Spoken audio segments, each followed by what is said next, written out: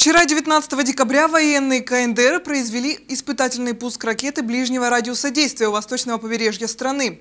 Факт запуска был подтвержден властями Южной Кореи. От Минобороны Российской Федерации комментариев не последовало. Данный пуск, несомненно, связан с кончиной северокорейского лидера Ким Чен Ира. Его цель – показать мировому сообществу и прежде всего соседям Северной Кореи, что вооруженные силы этой страны сейчас полностью боеготовы и отреагируют на любое развитие ситуации, заявил замдиректора Центра анализа и стратегий технологий Константин Макиенко. Схожей позиции придерживается бывший начальник штаба российских ракетных войск стратегического назначения генерал-полковник Виктор Есин.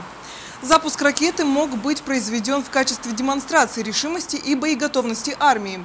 И его можно объяснить попыткой сообщить миру, чтобы никто извне не вмешивался во внутренние дела Северной Кореи, отметил Есин. Хотим напомнить, что Ким Чен Ир, руководивший Северной Кореей более 17 лет, скончался 17 декабря на 70-м году жизни от сердечного приступа. После появления сообщения о смерти Ким Чен Ира войска и полиция в Южной Корее были приведены в состояние повышенной готовности.